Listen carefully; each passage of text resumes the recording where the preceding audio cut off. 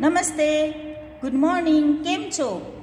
આજે આપણે સામાન્ય જ્ઞાનમાં પ્રવૃત્તિ છનો અભ્યાસ કરશું. તો ચાલો, પેલું છે કે દરેક પોશાકને તેના પહેરનારની સાથે જોડો. પહેરનાર એટલે જે અહીંયા એક છોકરો બાપ્યો છે ને એક છોકરી. તો છોકરો કયા કયા કપડાં પહેરે ને છોકરી કયા કપડાં પહેરે? તો આપણે એની સાથે જોડશું. તો પેલું એક્ઝામ્પલમાં આપેલું છે શર્ટ. તો શર્ટ છોકરો પહેરે ને તો એની સાથે જોડેલું છે. પછી શું છે? આ ફ્રોક. તો ફ્રોક કોણ પહેરે? છોકરી. તો આપણે એની સાથે જોડશું. પછી આ છે ચણિયો. તો એ પણ છોકરીનો જે આવ્યો ને પહેરવેશ પછી છે ટોપી. તો ટોપી છોકરાની સાથે જોડવાની છે. પછી આ છે પેન્ટ. તો આ છે છોકરાની પેન્ટ. તો આપણે એને છોકરાની સાથે જોડી દઈશું હવે બાજુની લાઈનમાં જુઓ. આ છે સ્કર્ટ. તો એ શું પહેરે? છોકરી પહેરે ને તો એને એની સાથે જોડી દઈશું પછી છે ટાઈ. તો એ છોકરો પહેરે. તો આપણે એની સાથે જોડી દઈશું આમ આ ટપકાની સાથે પણ જોડી શકાય. પછી છે કુર્તો. તો આ લેડીઝ પહેરે ને આપણે એની સાથે જોડશું. પછી છે પેન્ટ, તો આ છે છોકરીઓની પેન્ટ. તો આપણે એની સાથે જોડશું. પછી છે આ મોજા, તો આ છે છોકરાના મોજા. તો આપણે એને એની સાથે જોડી દઈશું. તો આ જે પોશાક જે પહેરતા હોય એ પ્રમાણે જોડ્યું. પછીનું છે કે શિયાળામાં ખવાતા ફળો ફરતે રાઉન્ડ કરો. તો અહીં જો એક્ઝામ્પલમાં શેરડી આપેલી છે, તો એ શિયાળામાં ખવાય ને તો એનામાં સર્કલ કરેલો છે. પછી છે કેરી, તો કેરી ઉનાળામાં આવે.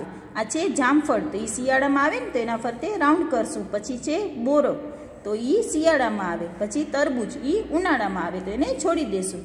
પછી શિયાળામાં વપરાતી વસ્તુઓ ફરતે રાઉન્ડ કરો. તો એક્ઝામ્પલમાં શું આપેલું છે? ગરમ ટોપો, એના ઉપર રાઉન્ડ કરેલું છે ને તો એકવાર આપણે પણ કરી લેશું. પછી પંખો આપણે શિયાળામાં ન વાપરીએ ને તો એના ઉપર નહીં કરવાનું. પછી છે ચવનપ્રાશ, તો એ ખવાય ને શિયાળામાં. પછી હીટર, તો એ પણ શિયાળામાં વપરાય. પછી ગરમ સ્વેટર એ પણ શિયાળામાં વપરાય. આપણે તાપણી પણ કરીએ ને શિયાળામાં.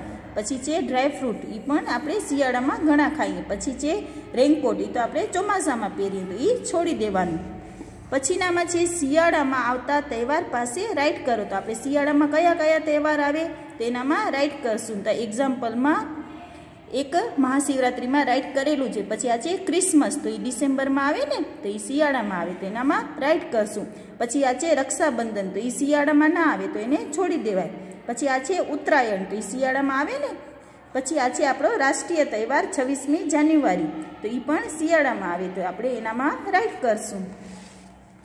તમે શાળામાં જે વસ્તુઓ લઈ જતા હો, તેને સ્કૂલ બેગની સાથે જોડો. તો અહીંયા વચમાં સ્કૂલ બેગ આપેલો છે ને સાઈડમાં વસ્તુ આપેલી છે. તો તમે જ્યારે સ્કૂલ જાઓ તો ત્યારે તમારા બેગમાં શું શું વસ્તુ નાખો?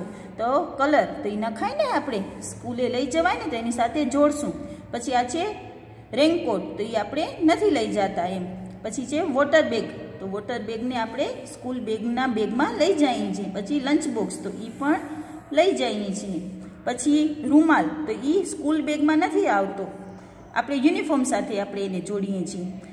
પછી છે પેન્સિલ અને ઇરેઝર, તો આપણે એ પણ સ્કૂલ બેગમાં એડ કરીએ. પછી ટોપી, તો એ ટોપી સ્કૂલ બેગમાં ના આવે. પછી છે આ ચોપડી, તો આપણે એ પણ સ્કૂલ બેગમાં નાખીએ. એટલે સ્કૂલ બેગમાં જે વસ્તુ આવતી હોય એને જ જોડવાનું છે.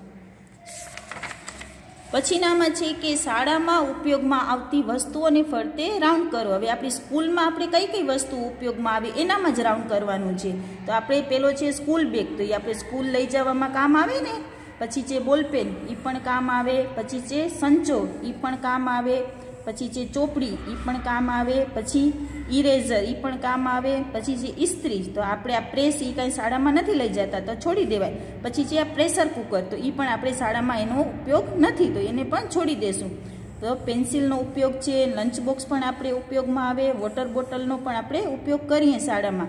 પછી છે આપણો ચાર્ટ પેપર એ પણ સ્કૂલમાં હોય, પછી સ્કેલ પણ હોય, કલર પણ હોય, ને બેસવા માટે આ ટેબલ ને એ પણ હોય ને બેન્ચ. તો જે આ બે વસ્તુ નહીં આવે તો એને છોડી દેવાનું. પછી છે કે તમારા ઘરમાં વીજળીથી ચાલતા સાધનોની ફરતે રાઉન્ડ કરો. તો હવે આપણા ઘરમાં વીજળીથી શું ચાલે એનામાં રાઉન્ડ કરવાનું છે. તો પહેલાંમાં છે ટેલિવિઝનમાં રાઉન્ડ કરેલો છે. પછી છે ખુરશી. તો ખુરશી વીજળીથી ચાલે, ન ચાલે ને તો એને છોડી દેવાનું. પછી છે પંખો. તો પંખો આપણને ચાલુ કરવા માટે આપણે વીજળીની જરૂર પડે છે.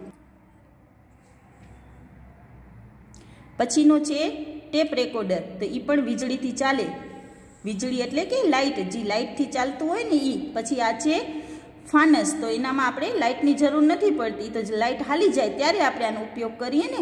પછી છે કાતર, તો કાતરને પણ વીજળીથી ન ચાલે એટલે લાઇટથી ન ચાલે. પછી આ છે વોશિંગ મશીન એ આપણે લાઇટથી ચાલુ કરાય ને એટલે સ્વિચ ચાલુ કરવાથી જે વસ્તુ ચાલુ થતી હોય એ વીજળીથી ચાલુ થાય. પછી છે મિક્સર ગ્રાઇન્ડર એ પણ આપણે લાઇટથી જ ચાલુ થાય ને. તો એનામાં સર્કલ કરશું. પછી છે રેફ્રિજરેટર, તો રેફ્રિજરેટરને ચાલુ કરવા પણ વીજળીની જરૂર પડે છે ને. તો એનામાં પણ આપણે રાઉન્ડ કરશું. સમજાઈ ગયું ને? આ આજે આપણે આ પ્રવૃત્તિ છ પૂર્ણ કરી. અસ્તુ.